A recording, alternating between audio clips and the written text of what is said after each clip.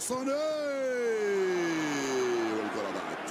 تسترجع من فرناندينيو يلعبها لرياض محرز رقم كورتو محرز بابا بابا عالمي يا رياض عالمي جول.